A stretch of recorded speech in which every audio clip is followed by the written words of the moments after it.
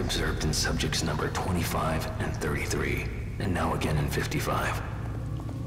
The one common factor is a case history of dissociative identity disorder.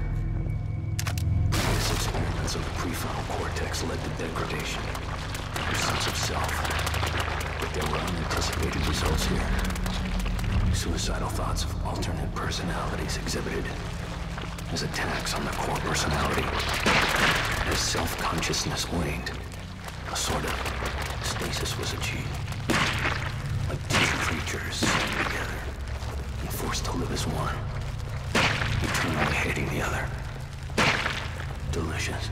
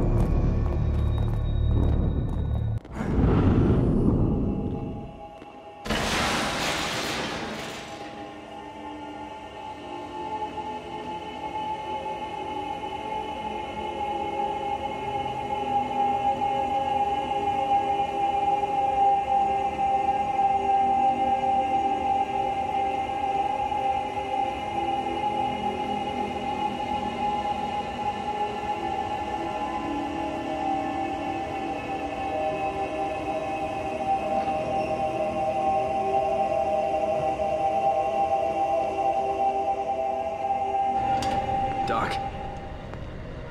Doc, what the hell is going on? There's no time. I need to figure out how to reverse this if we're going to stop him. Who? This Ruvik guy? Who the hell is he? I'm sorry, I have to find this. I can't help if you leave me in the dark, Doc. And you need me to help. He... We... We're working on a method. How can I explain this? It's like linking brains together. Sharing everything on an electrochemical level. Emotion, memory, perception, everything. Directly. It's unprecedented. The implications on psychology, on pharmaceuticals, on consciousness itself. Are you serious? It's a fucking nightmare. Well, I didn't say it was perfect. Especially not with such a... unstable host. Great. So your research partner is a psychopath. And we're all inside his head. N not exactly, no. All of us are contributing on some level. But he's the only one with conscious influence. You know how he thinks.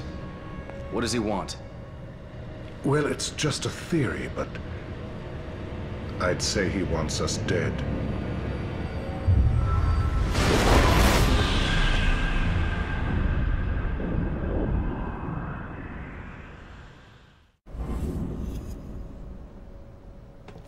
Doctor?